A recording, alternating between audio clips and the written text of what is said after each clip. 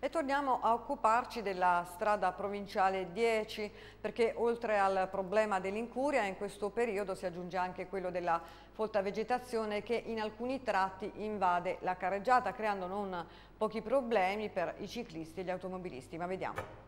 A distanza di due mesi torniamo a parlare della strada provinciale 10. Lungo la via che collega Conca Casale a Venafro ancora in alcuni tratti sporcizie ed incuria.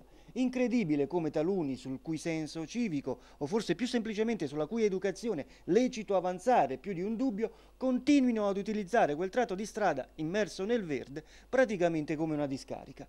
Ma a questo si aggiunge una criticità ulteriore e maggiore. In certi punti, fortunatamente non molti, la vegetazione è così fitta da invadere parzialmente la sede stradale, un potenziale pericolo per gli automobilisti ma anche per i tanti ciclisti e gli sparuti pedoni che lì hanno una visibilità non completa della carreggiata.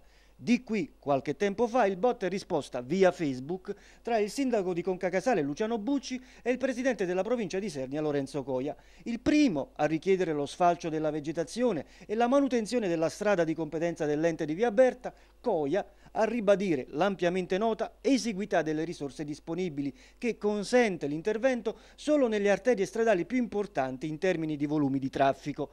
Dunque la situazione è allo stallo. La domanda è sicuramente ingenua, ma possibile che tra provincia, comuni di Conca Casale, Venafro, enti consortili e comunità montane assortite non si riesca a porre rimedio a questa tutto sommato piccola, ma come detto potenzialmente pericolosa criticità?